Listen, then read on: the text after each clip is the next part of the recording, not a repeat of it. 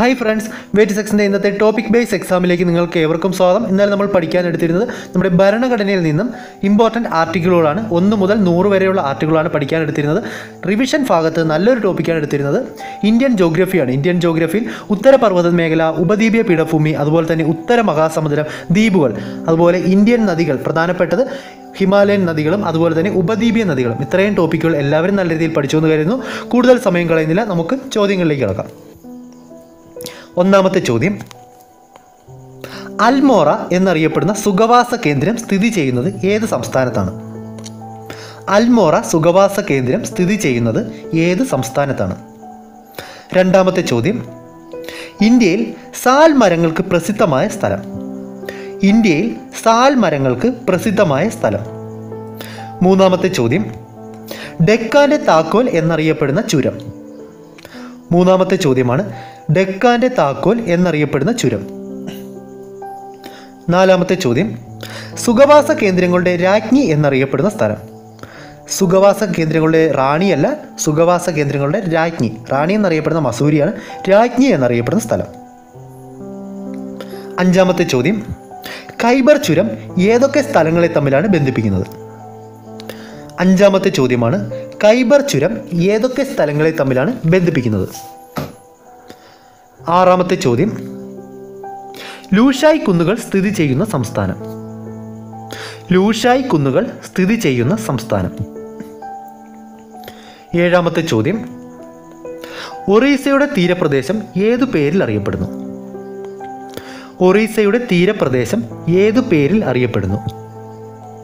എട്ടാമത്തെ ചോദ്യം. ആരവല്ലി പർവതനിരയിലെ ഏറ്റവും ഉയരം കൂടിയ കൊടുമുടി. ആരവല്ലി പർവതനിരയിലെ ഏറ്റവും ഉയരം കൂടിയ കൊടുമുടി. ഒമ്പതാമത്തെ ചോദ്യം. എട്ട് ഡിഗ്രി ചാനൽ സ്ഥിതി ചെയ്യുന്ന ദ്വീപ്. ഒമ്പതാമത്തെ ചോദ്യമാണ്. എട്ട് ഡിഗ്രി ചാനൽ സ്ഥിതി ചെയ്യുന്ന ദ്വീപ്. പത്താമത്തെ ചോദ്യം. സുഭാഷ് ചന്ദ്രബോസ് ആൻഡമാൻ ദ്വീപുകളെ ഏതു പേരിലാണ് വിളിച്ചത്? പത്താമത്തെ ചോദ്യം. സുഭാഷ് ചന്ദ്രബോസ് ആൻഡമാൻ ദ്വീപുകളെ ഏതു പേരിലാണ് വിളിച്ചത്? പതിനൊന്നാമത്തെ ചോദ്യം. സിന്ധു നദിയുടെ ആകെ നീളം പതിനൊന്നാമത്തെ ചോദ്യമാണ്. സിന്ധു നദിയുടെ ആകെ നീളം പന്ത്രണ്ടാമത്തെ ചോദ്യം. സിന്ധു നദീജല കരാർ ഒപ്പുവെച്ചതെന്ന്. വർഷവും ഡേറ്റും കൃത്യമായി എഴുതുക. സിന്ധു നദീജല കരാർ ഒപ്പുവെച്ചത് എന്ന്. പതിമൂന്നാമത്തെ ചോദ്യം അർത്ഥഗംഗ എന്നറിയപ്പെടുന്ന നദി. പതിമൂന്നാമത്തെ ചോദ്യമാണ് അർത്ഥഗംഗ എന്നറിയപ്പെടുന്ന നദി. പതിനാലാമത്തെ ചോദ്യം ബെഗ്ലിഹാർ ഡാം ഏതു നദിയിലാണ് സ്ഥിതി ചെയ്യുന്നത്? ബെഗ്ലിഹാർ ഡാം ഏതു നദിയിലാണ് സ്ഥിതി ചെയ്യുന്നത്? പതിനഞ്ചാമത്തെ ചോദ്യം പാടലീപുത്രം ഏതു നദിയുടെ തീരത്താണെന്നാണ് കരുതപ്പെടുന്നത്? പതിനഞ്ചാമത്തെ ചോദ്യം. പാടലീപുത്രം ഏതു നദിയുടെ തീരത്താണെന്നാണ് കരുതപ്പെടുന്നത്. പതിനാറാമത്തെ ചോദ്യം. പുഷ്കർ തടാകത്തിലേക്ക് ഒഴുകിയെത്തുന്ന നദി. പതിനാറാമത്തെ ചോദ്യം. പുഷ്കർ തടാകത്തിലേക്ക് ഒഴുകിയെത്തുന്ന നദി. പതിനേഴാമത്തെ ചോദ്യം. ഇരുമ്പിന്റെ അംശം ഏറ്റവും കൂടുതൽ കാണപ്പെടുന്ന മണ്ണ്. ഇരുമ്പിന്റെ അംശം ഏറ്റവും കൂടുതൽ കാണപ്പെടുന്ന മണ്ണ്. പതിനെട്ടാമത്തെ ചോദ്യം. കണ്ടൽ വനങ്ങളുടെ വളർച്ചയ്ക്ക് അനുയോജ്യമായ മണ്ണ്. കണ്ടൽ വനങ്ങളുടെ വളർച്ചയ്ക്ക് അനുയോജ്യമായ മണ്ണ്. പത്തൊമ്പതാമത്തെ ചോദ്യം. ജോൻഹ വെള്ളച്ചാട്ടം സ്ഥിതി ചെയ്യുന്ന സംസ്ഥാനം. ജോൻഹ വെള്ളച്ചാട്ടം സ്ഥിതി ചെയ്യുന്ന സംസ്ഥാനം. ഇരുപതാമത്തെ ചോദ്യം. പാകിസ്ഥാനിൽ സിന്ധു നദിയിൽ നിർമ്മിച്ചിരിക്കുന്ന ഏറ്റവും വലിയ ഡാം. ഇരുപതാമത്തെ ചോദ്യമാണ് പാകിസ്ഥാനിൽ സിന്ധു നദിയിൽ നിർമ്മിച്ചിരിക്കുന്ന ഏറ്റവും വലിയ ഡാം. ഇരുപത്തി ഒന്നാമത്തെ ചോദ്യം ഓംകാരേശ്വർ ഡാം ഏത് നദിയിലാണ് സ്ഥിതി ചെയ്യുന്നത്? ഓംകാരേശ്വർ ഡാം ഏത് നദിയിലാണ് സ്ഥിതി ചെയ്യുന്നത്? ഇരുപത്തിരണ്ടാമത്തെ ചോദ്യം ഉക്കായ് ജലവൈദ്യുത പദ്ധതി ഏതു നദിയിൽ സ്ഥിതി ചെയ്യുന്നു? ഉത്കായ് ജലവൈദ്യുത പദ്ധതി ഏതു നദിയിലാണ് സ്ഥിതി ചെയ്യുന്നത്? ഇരുപത്തിമൂന്നാമത്തെ ചോദ്യം.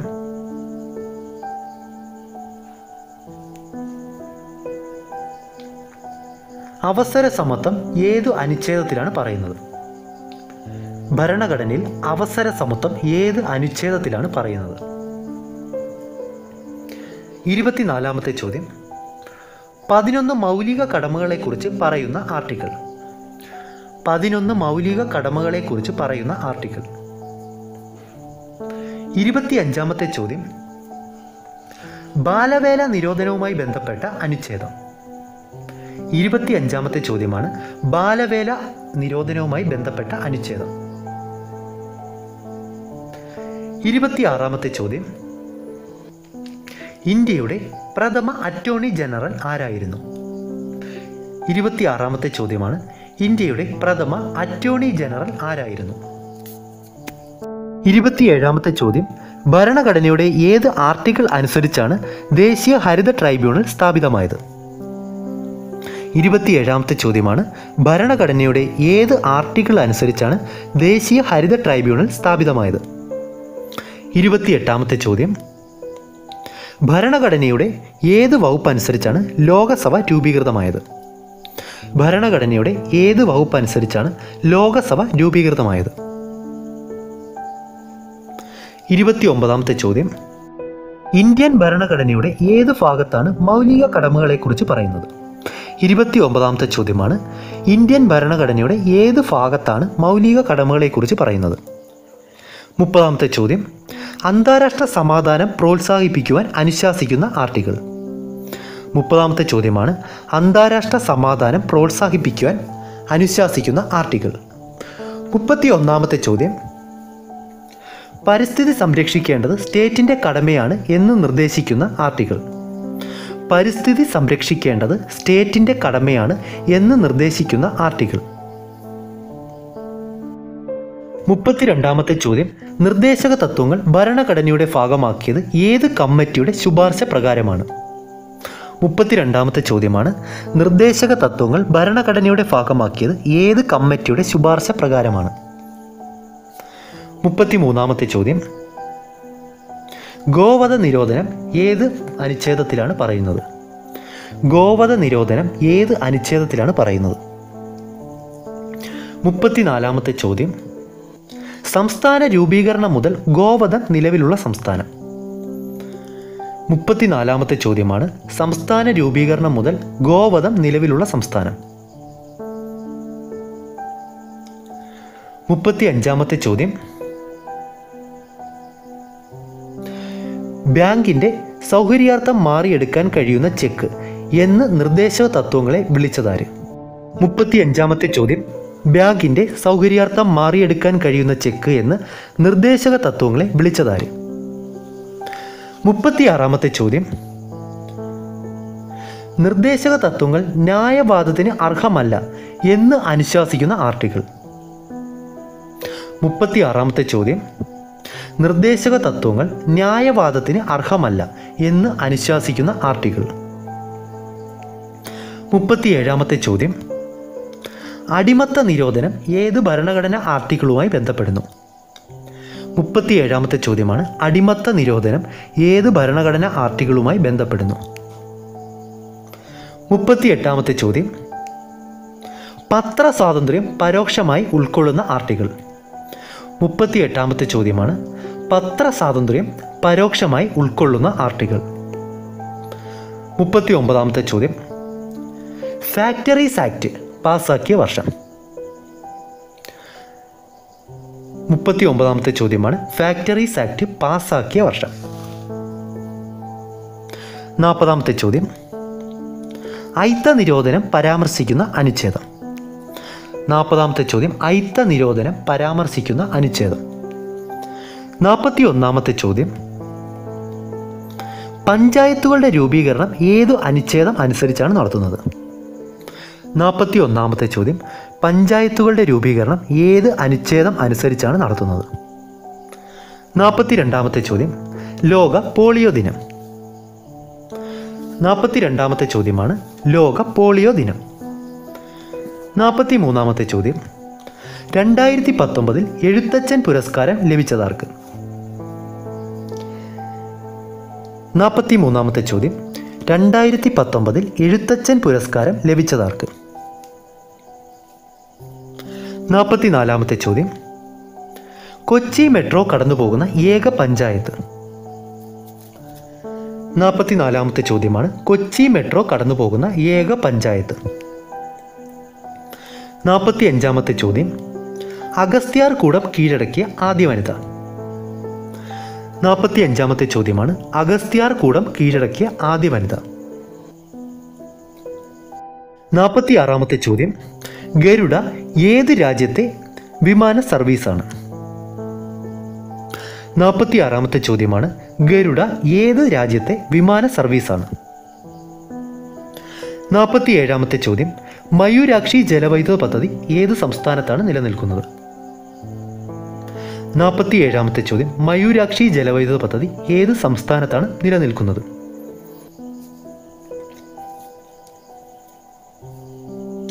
നാൽപ്പത്തി എട്ടാമത്തെ ചോദ്യം. സുബ്ബരായൻ എന്നറിയപ്പെട്ട നവോത്ഥാന നായകൻ. നാൽപ്പത്തി എട്ടാമത്തെ ചോദ്യമാണ്. സുബ്ബരായൻ എന്നറിയപ്പെട്ട നവോത്ഥാന നായകൻ. നാൽപ്പത്തി ഒമ്പതാമത്തെ ചോദ്യം. എലിഫന്റ ഗുഹകൾ നിർമ്മിച്ചതാര്? നാൽപ്പത്തി ഒമ്പതാമത്തെ ചോദ്യമാണ്. എലിഫന്റ ഗുഹകൾ നിർമ്മിച്ചത് ആര്? അമ്പതാമത്തെ ചോദ്യം. ദാരി ഏതു രാജ്യത്തെ ഭാഷയാണ്? അമ്പതാമത്തെ ചോദ്യമാണ്. ദാരി ഏത് രാജ്യത്തെ ഭാഷയാണ്? ഇന്നത്തെ അമ്പത് ചോദ്യങ്ങളും കഴിഞ്ഞിരിക്കുന്നു. എല്ലാവരും നല്ല രീതിയിൽ എഴുതിയെന്ന് കരുതുന്നു. കുറച്ച് കറണ്ട് അഫെയർ ചോദ്യങ്ങൾ ഉൾപ്പെടുത്തിയിട്ടുണ്ട്. നമുക്കിനി ഇതിന്റെ ആൻസറുകളിലേക്ക് കടക്കാം. ഒന്നാമത്തെ ചോദ്യം. അൽമോറ സുഖവാസ കേന്ദ്രം സ്ഥിതി ചെയ്യുന്നത് ഉത്തരാഖണ്ഡ്. രണ്ടാമത്തെ ചോദ്യം. ഇന്ത്യയിൽ സാൽ മരങ്ങൾക്ക് പ്രസിദ്ധമായ സ്ഥലം ഡ്യൂൺ താഴ്വര. മൂന്നാമത്തെ ചോദ്യം. ഡെക്കാന്റെ താക്കോൽ എന്നറിയപ്പെടുന്ന ചുരം. അസിർഘട്ട് ചുരം. നാലാമത്തെ ചോദ്യം. സുഖവാസ കേന്ദ്രങ്ങളുടെ രാജ്ഞി എന്നറിയപ്പെടുന്നത് കൊടൈക്കനാൽ. അഞ്ചാമത്തെ ചോദ്യം. കൈബർ ചുരം ഏതൊക്കെ സ്ഥലങ്ങളെ ബന്ധിപ്പിക്കുന്നു? പാകിസ്ഥാനെയും അഫ്ഗാനിസ്ഥാനെയും. ആറാമത്തെ ചോദ്യം. ലൂഷായി കുന്നുകൾ സ്ഥിതി ചെയ്യുന്ന സംസ്ഥാനം. മിസോറാം. ഏഴാമത്തെ ചോദ്യം. ഒറീസയുടെ തീരപ്രദേശം അറിയപ്പെടുന്നത് ഉത്കൽ സമതലം. എട്ടാമത്തെ ചോദ്യം. ആരവല്ലി പർവതനിരയിലെ ഏറ്റവും ഉയരം കൂടിയ കൊടുമുടി. മൗണ്ട് ഗുരിശിഖർ. ഒമ്പതാമത്തെ ചോദ്യം. എട്ട് ഡിഗ്രി ചാനൽ സ്ഥിതി ചെയ്യുന്ന ദ്വീപ്. മിനിക്കോയ് ദ്വീപ്. പത്താമത്തെ ചോദ്യം. സുഭാഷ് ചന്ദ്രബോസ് ആൻഡമാൻ നിക്കോബാർ ദ്വീപുകളെ വിളിച്ചത്. ഷഹീദ് ആൻഡ് സ്വരാജ് ദ്വീപുകൾ. പതിനൊന്നാമത്തെ ചോദ്യം. സിന്ധു നദിയുടെ ആകെ നീളം. രണ്ടായിരത്തി എണ്ണൂറ്റി എൺപത് കിലോമീറ്റർ. രണ്ടായിരത്തി എണ്ണൂറ്റി എൺപത് കിലോമീറ്ററാണ് സിന്ധു നദിയുടെ ആകെ നീളം. പന്ത്രണ്ടാമത്തെ ചോദ്യം. സിന്ധു നദീജല കരാർ ഒപ്പുവെച്ചതെന്ന് ആയിരത്തി തൊള്ളായിരത്തി അറുപത് സെപ്റ്റംബർ പത്തൊമ്പത്. ഡേറ്റും വർഷവും കൃത്യമായി ഓർത്തിരിക്കുക ആയിരത്തി തൊള്ളായിരത്തി അറുപത് സെപ്റ്റംബർ പത്തൊമ്പത്. കറാച്ചിയിൽ വെച്ചാണ് സിന്ധു നദീജല കരാർ ഒപ്പുവെക്കുന്നത്. പതിമൂന്നാമത്തെ ചോദ്യം. അർത്ഥഗംഗ എന്നറിയപ്പെടുന്നത്. കൃഷ്ണ. പതിനാലാമത്തെ ചോദ്യം. ചിനാബ് നദിയിൽ നിർമ്മിക്കപ്പെട്ട ഡാം. ബെഗ്ലിഹാർ സോറി ചോദ്യം അങ്ങനെയായിരുന്നില്ല. ബെഗ്ലിഹാർ ഡാം ഏത് നദിയിലായിരുന്നു? ചിനാബ് നദിയിലാണ്. ജമ്മു കാശ്മീരിലാണ് ബെഗ്ലിഹാർ ഡാം സ്ഥിതി ചെയ്യുന്നത്. പതിനഞ്ചാമത്തെ ചോദ്യം. പാടലിപുത്രം ഏത് നദിയുടെ തീരത്താണ് സ്ഥിതി ചെയ്തിരുന്നത്? സോൺ നദിയുടെ തീരത്ത്. പതിനാറാമത്തെ ചോദ്യം. പുഷ്കർ തടാകത്തിലേക്ക് ഒഴുകിയെത്തുന്ന നദി. ലൂണി. പതിനേഴാമത്തെ ചോദ്യം. ഇരുമ്പിന്റെ അംശം ഏറ്റവും കൂടുതലുള്ള മണ്ണ്. ചെമ്മണ്ണ്. പതിനെട്ടാമത്തെ ചോദ്യം കണ്ടൽ വനങ്ങളുടെ വളർച്ചയ്ക്ക് അനുയോജ്യമായ മണ്ണ് പീറ്റ് മണ്ണ് പത്തൊമ്പതാമത്തെ ചോദ്യം ജോൻഹ വെള്ളച്ചാട്ടം സ്ഥിതി ചെയ്യുന്ന സംസ്ഥാനം ജാർഖണ്ഡ്. ഇരുപതാമത്തെ ചോദ്യം പാകിസ്ഥാനിൽ സിന്ധു നദിയിൽ നിർമ്മിച്ചിരിക്കുന്ന ഏറ്റവും വലിയ ഡാം ടർബേല ഡാം. ഇരുപത്തിയൊന്നാമത്തെ ചോദ്യം ഓംകാരേശ്വർ ഡാം സ്ഥിതി ചെയ്യുന്നത് ഏതു നദിയിലാണ് നർമ്മദ നദി. ഇരുപത്തിരണ്ടാമത്തെ ചോദ്യം ഉക്കായ് ജലവൈദ്യുത പദ്ധതി സ്ഥിതി ചെയ്യുന്ന നദി താപ്തി. അതുപോലെ തന്നെ കാക്രപ്പാറ സ്ഥിതി ചെയ്യുന്നതും താപ്തി നദിയിലാണ്. ഇരുപത്തിമൂന്നാമത്തെ ചോദ്യം. അവസര സമത്വം ഏത് അനുച്ഛേദത്തിലാണ് പറയുന്നത്? പതിനാറാം. ഇരുപത്തിനാലാമത്തെ ചോദ്യം. പതിനൊന്ന് മൗലിക കടമകളെക്കുറിച്ച് പറയുന്ന ആർട്ടിക്കിൾ അമ്പത്തിയൊന്ന് എ.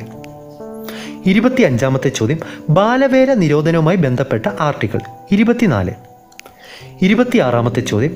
ഇന്ത്യയുടെ പ്രഥമ attorney general M C Setalvad.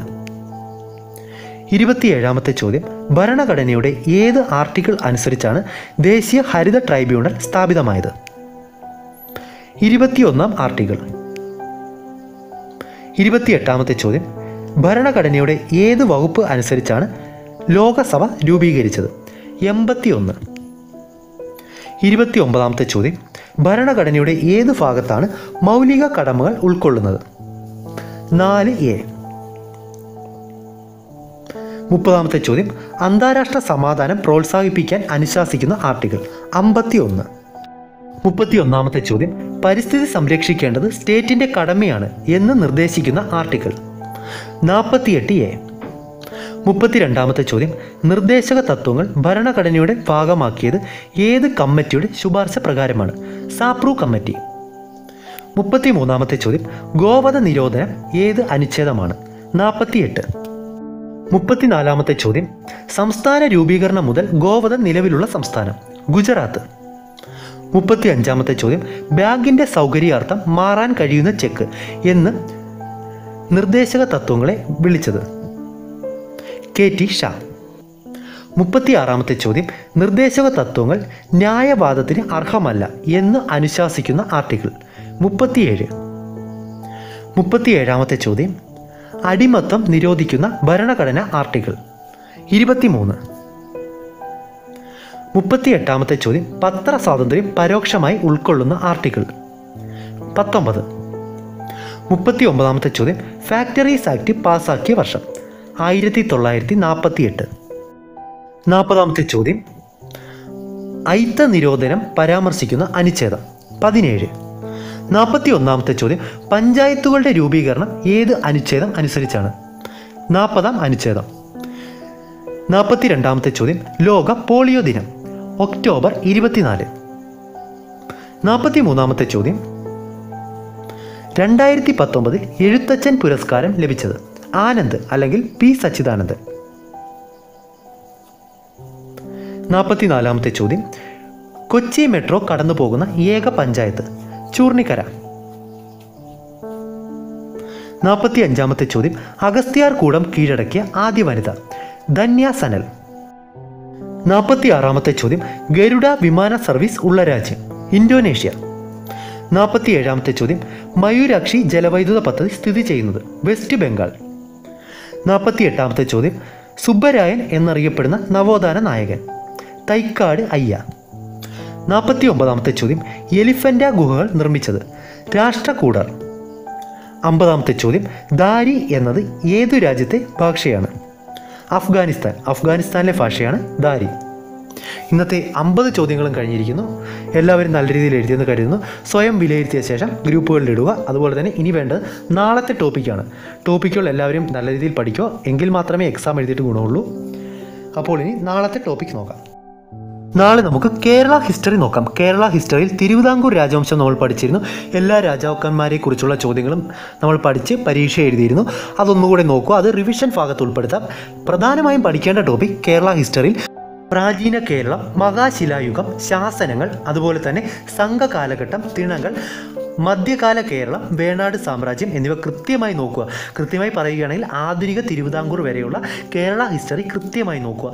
എല്ലാ ചോദ്യങ്ങളും ഉൾക്കൊള്ളിക്കും. കൂടുതൽ ചോദ്യങ്ങളുണ്ടെങ്കിൽ അമ്പതിൽ കൂടുതൽ ചോദ്യങ്ങൾ കാണും. കാരണം ഇതിൽ നിന്ന് പി എസ് സി ഒരുപാട് ചോദ്യങ്ങൾ ആവർത്തിച്ചിട്ടുണ്ട്. അതുകൊണ്ടാണ് ചിലപ്പോൾ അമ്പത് ചോദ്യങ്ങൾ കൂടുതൽ കാണും.